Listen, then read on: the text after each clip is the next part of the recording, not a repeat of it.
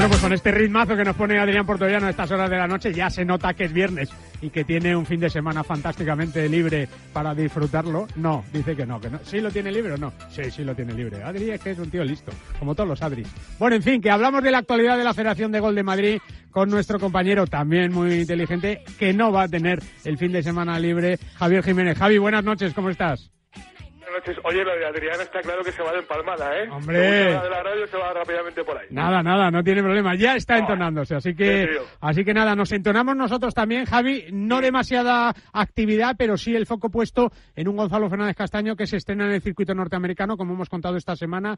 Eh, terminó con el par, que no es más resultado teniendo en cuenta que es lo mismo que hizo Tiger Woods, ¿no? Claro, claro, eso es muy prometedor. Fíjate que ha terminado con el mismo resultado que el número uno del mundo. Dice Tiger que, que va a apretar un poquito a ver si se puede poner el fin de semana a luchar por la victoria. Igual lo puede hacer Gonzalo Fernández Castaño también, ¿no? Bueno, él, viene a recuperar eh, el título, a revalidar el título y Gonzalo a quitárselo. Que le siga, que, le siga. Sí, sí, eso es como los nadadores, hay que coger una buena calle de referencia, sí, ¿no? Sí, sí, efectivamente, efectivamente. Pues mira, desde luego ha cogido para este torneo la mejor sin duda, que es, la de Tiger. Que fíjate la cantidad de veces que ha ganado en este campo, o sea que... Sí, siete, siete el, el, el, Farmers, una vez el, el Open de Estados Unidos en 2008, ocho victorias, batería el récord eh, de un jugador con más eh, victorias en un mismo campo, algo que parece estratosférico, ¿no? La verdad es que hablamos de uno de los grandes, ¿no? Con Tiger, Javi. Pues es que, ¿qué espera, macho? De un tío que vive en Júpiter, pues... Sí, sí, está, está claro, está claro, el californiano de, de Júpiter. Javi, ¿qué actualidad tenemos o cómo preparamos el fin de semana en cuanto a la Federación de Gol de Madrid también? Bueno, pues la actualidad es más o menos la de, la de siempre, torneos eh, por todos los campos y todos los clubes de la Comunidad de Madrid, ningún torneo demasiado relevante para este fin de semana, también es verdad.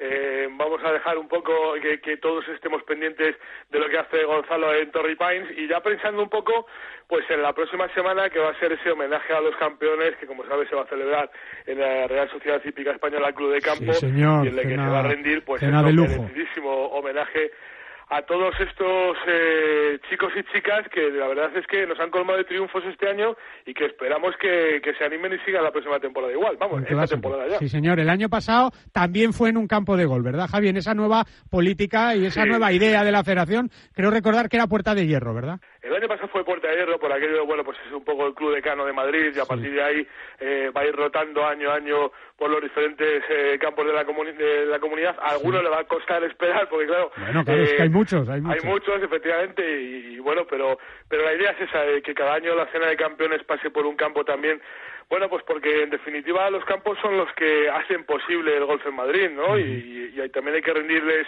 eh, bueno, pues algún tributo de alguna forma y en lugar de hacerlo como hasta ahora en un hotel, pues se va a hacer ahí. Bueno, yo creo que es una buena, una buena noticia. Van a estar casi todos los grandes triunfadores de un golf madrileño que, que tiene muchas figuras, ¿eh, Javi? Va a ser difícil eh, eh hacer todo el repaso, ¿verdad? Sí, estas cosas ya sabes que al final son muy largas precisamente por eso, porque al final hay muchos campeones a lo largo del año, a todos hay que darle su minutito de gloria y al final, bueno, pues estos actos se prolongan demasiado en el tiempo, pero sí que es verdad que, que bueno, pues después de todos los esfuerzos y de todo lo que han dado por el golf madrileño todos y cada uno de ellos, hay que hay que tomar su tiempo. Al único que vamos a echar de menos, eh, desde luego, va a ser a Gonzalo, que, no va a poder estar, pero bueno. Seguro que sí. Bueno, eh, lo llevaremos en el corazón, ¿no, Javi? Lo llevaremos en el corazón, efectivamente. Y bueno, pues eh, tenemos. Fíjate, te voy a contar una anécdota. Venga, a ver, a ver. Estoy hablando de Gonzalo y de Puerta de Hierro. Un amigo precisamente de Gonzalo, jugador de Puerta de Hierro, profesional también, Pedro Oriol. Hombre, don Pedro. Don Pedro, fíjate, me acordaba el otro día de la anécdota aquella de John Daly que metió el hoyo en uno en el segundo golpe. Sí, sí, sí, el otro día en el Humana Challenge. Exactamente. Bueno, pues Pedro Oriol, ¿sabes lo que ha hecho? ido a entrenar al club, al Centro Nacional de Golf, a los pares 3. Y ni corto ni perezoso hace hoyo en uno.